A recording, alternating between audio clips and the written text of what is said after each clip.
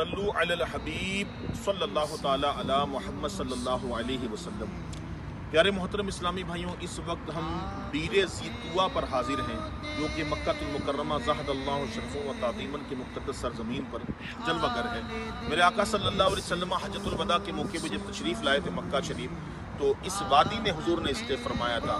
دیگر صحابہ اکرام بھی آپ صلی اللہ علیہ وسلم کے ساتھ تھے اور حضور صلی اللہ علیہ وسلم نے اس کنویں کے پانی سے غسل فرمایا تھا۔ یہ جو چھوٹی سی مسجد دیکھ رہے ہیں آپ، یہ دکھنے میں مسجد ہے لیکن مسجد نہیں ہے۔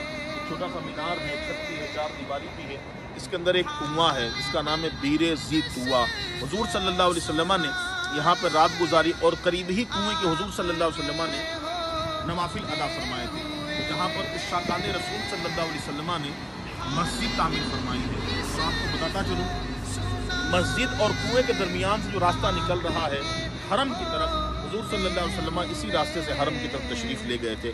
حدیث میں آتا ہے کہ جب حضور بیت اللہ کی جانب آئے تھے تو بلندی سے پستی کی طرف آئے تھے۔